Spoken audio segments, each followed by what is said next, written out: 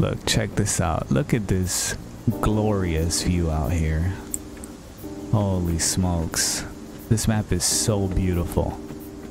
I just thought I'd share that. But anyways, hello everybody. How's everyone doing today? So we're out here today starting a fresh new solo PvP journey. Just you and me on an official PvP server. And this time around, we're not in the Exile lands as you may have noticed. We're in Siptah. And this is a brand new experience for me because I haven't really played this map before. Played it for a few days when it first came out on console, but never really explored what new things Siptah brought to Conan. So it's it's pretty much like I'm playing this map for the first time ever. And as per usual, I got so much to learn. So let's go ahead and get started. Now, I did decide to skip and spare you guys of all that intro stuff where I wake up at the beach and then I wander around for 40 minutes looking for a base location. And then I spend an hour or two building a base and crafting all the benches. So right now we're past all that. I have already built myself a starter base, which is this one. And I picked this location because it looks so beautiful and the vibes are great. I know it's not a very PvP base, but it's all good. This is just a place that I can call my home as I get through this early game grind and learn Siptah. Once we reach endgame and have learned Siptah, that's when we'll get real serious about this. But as for now, this is just where we're gonna be living at. I do have a secret stash base somewhere else to hide my good stuff later on. So don't worry if I get raided, I don't mind, it's okay. Like I've said, this is just a place to call my home. So let me go ahead and show you guys our new base of operations and here we have it. It is a very small base but i think for now this will get the job done and we'll expand as we go. And like i said i did already go ahead and craft myself all the benches that we're going to be needing so we can just head straight to exploring siptah so obviously since we're still in the early game i think our first mission on siptah will be to upgrade our tools to star metal just because i want to get straight to the good tools. That way we can progress a whole lot faster. I don't even want to bother at all with steel or hardened steel. Now I went ahead and looked up a guide and they said that you can get star metal at the center of the map where all the crazy stuff happens. So we're gonna be going there to get some star metal but of course we're gonna need some explosive arrows first to be able to mine the star metal stone. So before we gather some star metal we're gonna go ahead and gather all these items needed to craft these explosive arrows and hopefully by the end of this episode we'll have some star metal tools and maybe a star metal weapon. Alrighty so to make the dragon powder that we need for the explosive arrows, we're gonna need a hundred steel fire, which is made up of two tar and one brimstone. I'm gonna go ahead and farm up and make myself a tannery because I did forget to craft one earlier. And once we get a tannery, I'll go ahead and start processing the hide into tar. Thankfully, I do have some hide that I collected from when I was building my base, so that should save us some time. Boom, there we have it. We got our tannery down. And now we can actually start processing some leather so that we can get some tar. That way, we can make our steel fire. But let's go ahead and put these down right here. And is it just me or did they increase the crafting time for things. It looks to be going a whole lot faster than before, but I'm not too sure. That may just be me thinking that. But anyways, first things first, like I said, uh, we're gonna go get some brimstone so that we can also make steel fire. And along the way, we'll also skin some animals so that we can get even more tar. So I think that's what we're gonna do first. Now, I should look at a map and see where you can get brimstone. But I think I'm just gonna maybe wander to this area right here and see if I can find some brimstone along the way. Because um, I do gotta learn this map. I gotta figure out where everything is. And yeah, just do some exploration. Maybe we'll run into some bases. We'll see. Actually, before we head out, let's go ahead and feed ourselves and also hydrate ourselves because for this solo journey we're gonna try and play this as good as possible. I know for my last series there were a lot of people that were upset that i never had food with me and i was always just like hungry or thirsty. But this time as you can see i got my water skin and some food with me so we're good my last solo series was actually filmed from December to March and I was editing and posting those episodes by June and July. So a lot of you guys were actually giving me some great suggestions and tips, but I couldn't really apply those suggestions because the series had already been filmed months prior. But with this new series, I'm really excited because I'm going to try my hardest to film an episode and then I'll edit it the next day and then post it the next day after that. And it's kind of going to be like a quote unquote live series. So you guys can share all of your thoughts and suggestions and tips. And I can probably use them in the next episode after that. So you guys will be able to actually alter the course of this series. And I'm going to try my hardest to make that work because, you know, this YouTube thing is just something that I do as a hobby and sadly my real job eats up quite a huge portion of my day but we got this we can do this so yeah go ahead and share all of your tips and suggestions and knowledge because i'm absolutely clueless about Siptah and i am in need of a to-do list so that i know what i should be exploring and focusing on and i always love hearing from you guys. You guys are my partner in this journey so let me know. Wait is this black hmm. ice already I'm so used to the exile lands where that's kind of like end game stuff because you gotta have like stuff to survive in the cold. But I guess we can get it now. That's great. I do wish I had an encumbrance build just so that I can carry as much as possible. But in these new lands, I want to be ready for a fight against any player that is not friendly. So I am rocking a strength vitality build right now but I'm actually excited because I know that there's one kit here in Siptah that it's an encumbrance kit, but it also leaves you strong enough to be able to fight as an encumbrance build and I'm excited to get that one. I don't really know the name of it, but I know a lot of people use it to farm and they can defend themselves, so. Oh, there's a cave over here. Oh, look at that. Thank goodness we came in here. We got some brimstone. Just what we needed. Now, if we can get maybe like 500, that should be enough to make at least 10 explosive arrows, I would think. Oh, let's also take some of this. I love coal. Alright, let's see if we can just find some more brimstone. That'd be great. I know that I should look up a resource guide or something like that, but I do want to explore this area a bit on my own and just get to know it but I'll give it five more minutes and see if I can find some brimstone on my own. And if I don't I'll look up a guide. So I found this little encampment here and I took down a few thralls to see if maybe they would drop some gear but no luck so far. I'm gonna finish going through this and hopefully I'll find a piece of gear or something. Oh I don't even know what these things are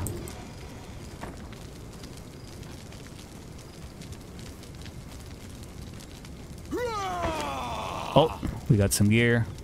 So we were able to somewhat loot that little encampment. Uh, we got some steel and some iron bars and some boots out of it, which is great, I guess. but uh, it has been over five minutes, so it's time for me to look up a guide and see where we can get brimstone now. So let me go ahead and look one up right now. So I just looked at a video and it turns out that we were actually pretty close to a little brim lake area here. Oh, is that someone's base? Yes, it is. Well, let's go check the timer on it.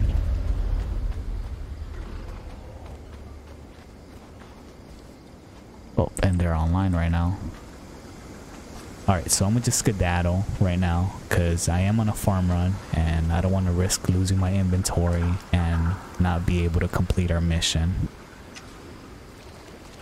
Now, of course, on this server, I just got here, so I don't have any friends or allies, so I don't know who's friendly or not.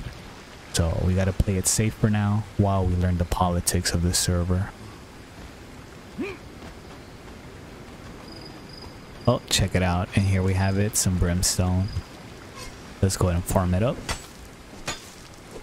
Alrighty, so we got a few good nodes out of that, but uh, I am about to be over encumbered, so I'm gonna head to base and depot all this.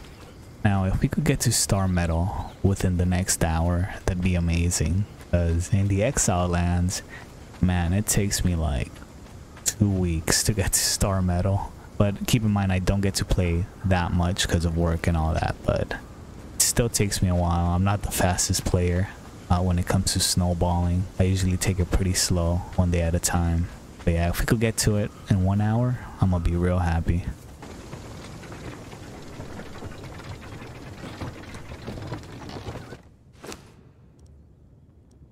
Alright, so just made it back and I'm gonna go ahead and start making some steel fire. So looks like we are gonna have enough. Uh, I think with all this here, we should have enough to make it to a hundred. And then what else? So we got this, we got this. We gotta get some crystals. Do I have enough? Uh, I need a few more crystals. And then of course the hardest part, demon blood.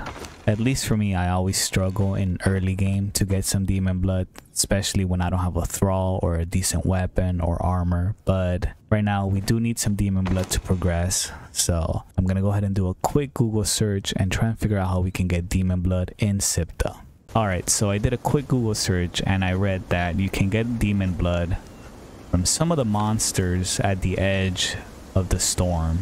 So we're gonna go there and just kind of check that out. Maybe we'll end up getting other resources on the way there. Now, I don't know if that's the most efficient way of getting demon blood, but of course, feel free to share your knowledge and let me know in the comments how do you get demon blood, especially in the early game when you don't have anything, you don't have good gear, you don't have a thrall. How do you guys get demon blood? So we're on our way right now to the center where the storm takes place and I'm hoping real bad that we're going to be strong enough to take on these monsters without a kit.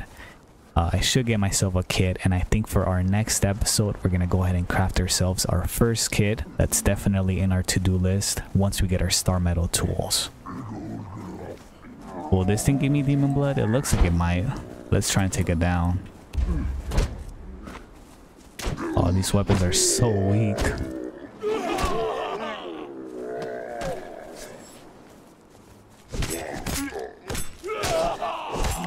Yeah, daggers is always the way to go with these PvE monsters.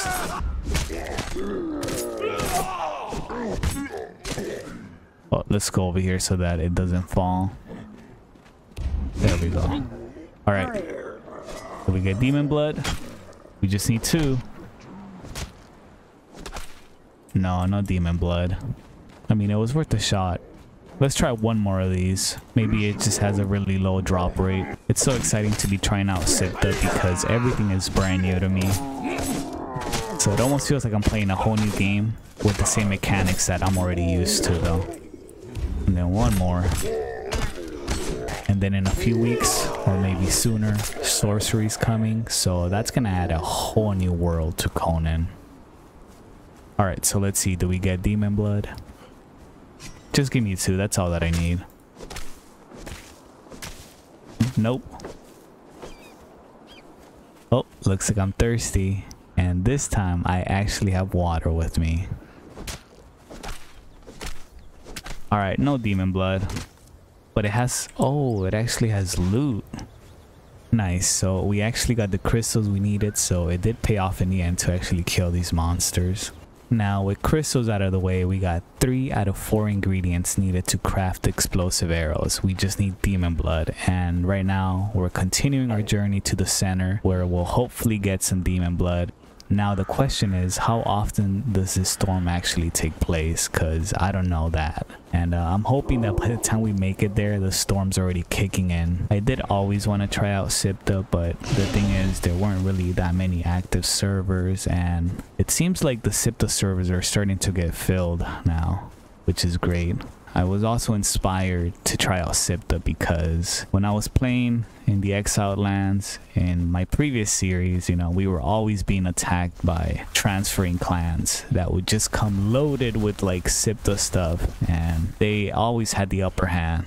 But if I play on Siptah and everyone has the same access to the same gear, then it's an even playing field.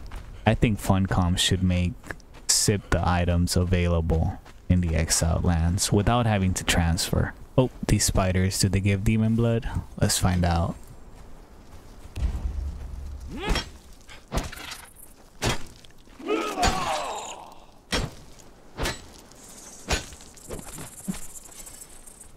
The heck? These spiders just disappeared out of nowhere.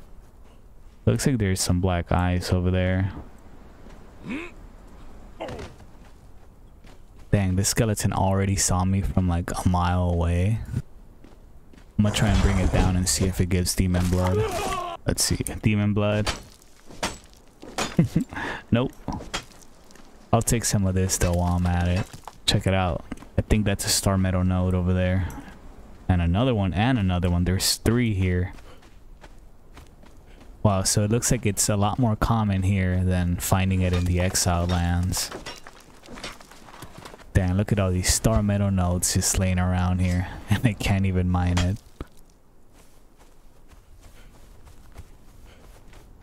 Ooh, I'll take this silk though, because I'm sure it'll come in handy for the next episode when we get our first kit. Really loving how all these resources are just bundled together. Really helps with like farming. Took a short little break hoping the storm would start, but I read online that it passes every 75 minutes if that's correct, and we don't have that kind of time, so we're back on the hunt for some demon blood. Oh, found some spiders. Let's find out if they give demon blood.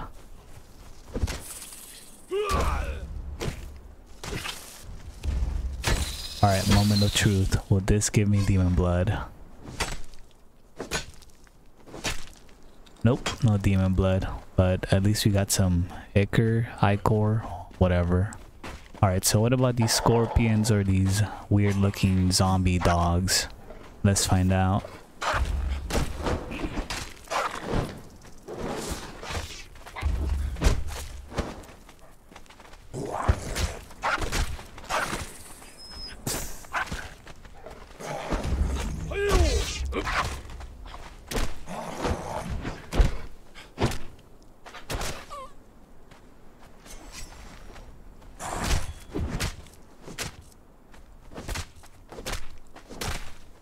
Yes.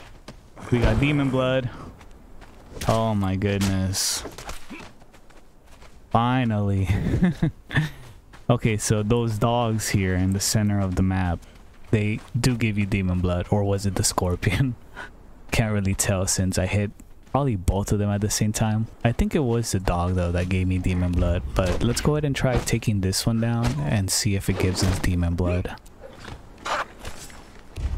I'm so excited to just get better weapons too. It's gonna be such a huge upgrade once we get to like star metal weapons.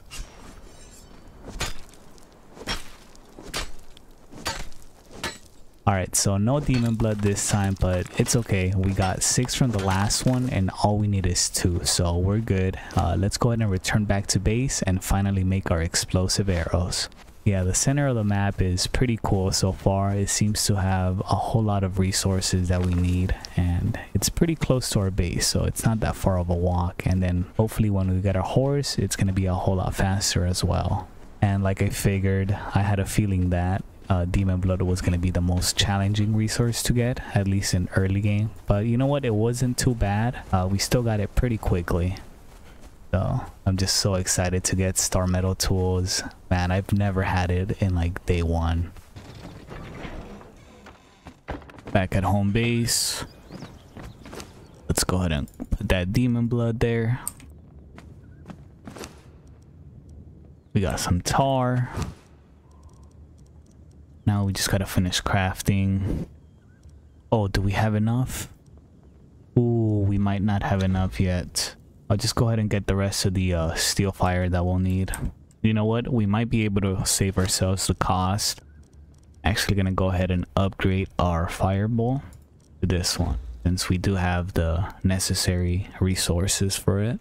And now the dragon powder will be a whole lot cheaper to make and I think it goes a little faster as well.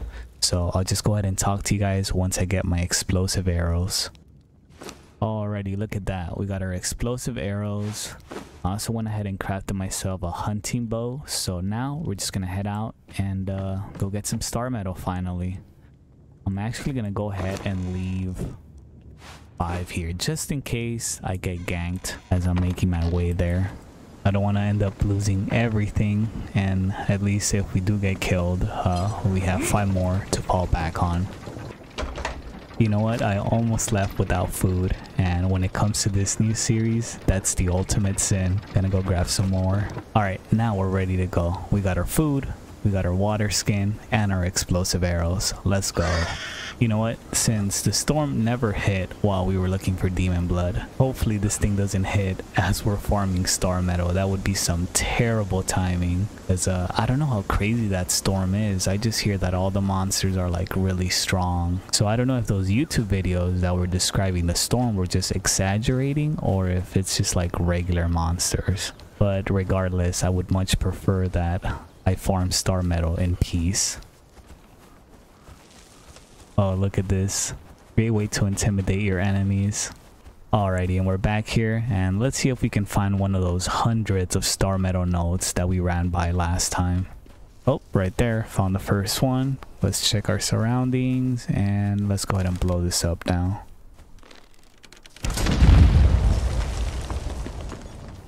We got a star metal on our first day of this playthrough. That's crazy for me. And we got a second one here. I think I'm also going to farm up some brimstone because I know we'll need it to convert this into star metal bars. Is that a recipe? Do I learn something?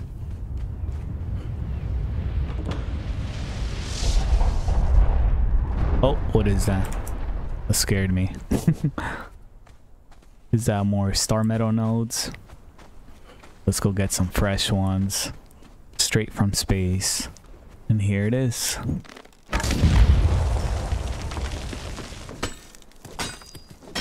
Uh, I think that's enough. I don't know if I'm gonna go after that one. Star metal is like such a mission to get in the exile lands, just finding it. But here it's just abundant. Let me just take some brimstone real quick. Alright, so let's hit the road now. Let's head back to base and it looks like the storm didn't hit and I'm so loaded with star metal. This is like the most star metal I've ever gathered from a single run. But yeah, I'll see you guys back at home base. Alrighty, so we're back at home base and I got all three furnaces running and I'm just waiting for all this star metal to get processed and then we'll go ahead and craft ourselves our star metal tools and maybe a weapon and then we'll call it a day. Alright, don't click off just yet. I got something really important to tell you guys. Let me just get up here to film the outro. Alright, so we did it. We accomplished our mission for the day. We are past iron into star metal. We got our star metal spear, our star metal pickaxe and skinning knife, and now we're ready to start snowballing. Now, for the next episode, I need you guys' help. It's time that I get some armor, so let me know in the comments down below what armor I should be getting next. Now remember, I'm fresh on Siptah and this is day one, so don't tell me something completely unrealistically difficult now, if you're to recommend something, keep in mind that this is all that I have. These are my only personal belongings. We can farm some items, of course, just like we did with our explosive arrows, but don't tell me something insane where I have to kill like a super strong boss while I'm still in early game. But yeah, I don't know. So just let me know in the comments, guys. I would really appreciate it. But anyways, thanks for watching and tagging along, and I'll see you guys next time.